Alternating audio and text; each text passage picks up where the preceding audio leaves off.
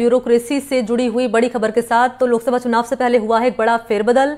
एक सौ आरएएस अधिकारी को हुआ है ट्रांसफ़र, तीन आईपीएस अधिकारियों का भी ट्रांसफ़र किया गया है। भजनलाल सरकार ने किए 236 आरपीएस अधिकारियों के तबादले। ये बड़ी खबर आप तक पहुँचा रहे हैं। तबादलों का सिलसिला लगातार जारी है। इसी कड़ी में बड़ी जानकारी, सूची आपके सामने मैं रख रही हूँ कि किस अधिकारी का कहाँ ट्रांसफ़र किया गया। एक सौ अधिकारी हैं जिनके ट्रांसफ़र हुए हैं। तीन आईएएस हैं और तीन आईपीएस अधिकारी हैं जिनका ट्रांसफ़र हुआ है। 236 आरपीएस अधिकारियों के भी तबादले किए गए हैं।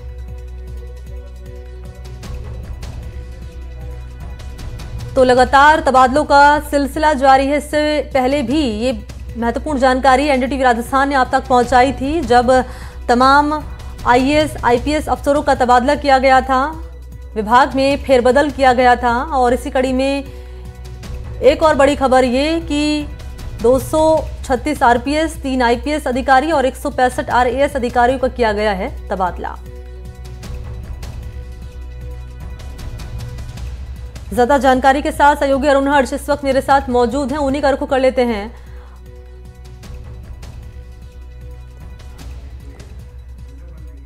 तो लोकसभा चुनाव से पहले अरुण हर्ष, एक बड़ा फेरबदल ब्यूरोक्रेसी में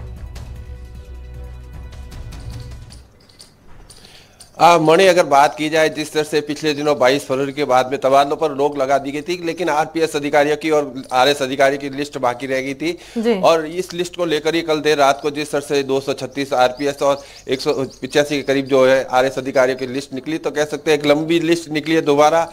और कल ही गोविंद सिंह डोटासरा ने जिस तरह से एक मीटिंग में तंज कसता कहा था कि किस तरह से जो है तबादलों की लंबी लिस्ट निकाली जा रही है पता नहीं चलता। इसी कड़ी में ये कह सकते हैं, तीन आईपीएस जो है, उनका भी तबादला वापस निरस्त किया गया, दूसरी जगह लगाया गया। तो कह सकते हैं, तबादलों की लंबी एक फहरिस्त है, जिसको लेकर लोकसभा चुनाव से पहले बीजेपी है, जो अपने स्तर के जो अधिकारी है, उनको लगाना चाहती है। तो चुनाव से पहले कानून व्यवस्था को मज़बूत करना, यही महत्वपूर्ण उद्देश्य है इन तबादलों के पीछे का, अरुण हर्ष?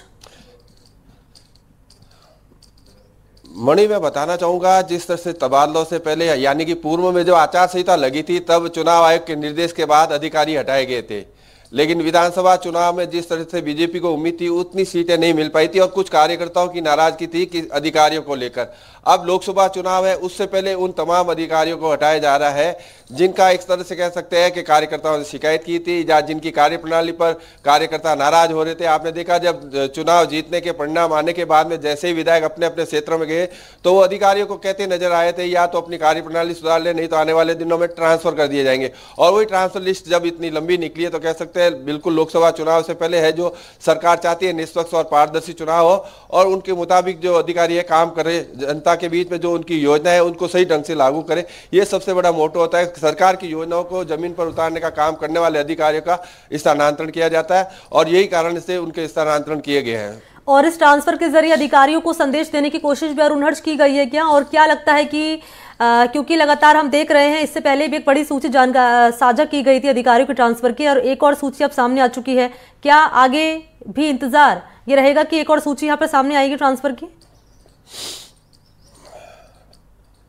हाँ निश्चित रूप से अभी एक सूची और आने की संभावना बनी हुई है और उम्मीद करते हैं कि संभवतः आज ही वो निकल जाए क्योंकि अब आचार संहिता लगने में कुछ ही दिन बाकी रहे हैं। तो इससे पहले सरकार चाहती है कि ट्रांसफ़र के जो काम है उस पर रोक लगे, उससे पहले वो सूची पूरी निकाल ली जाए।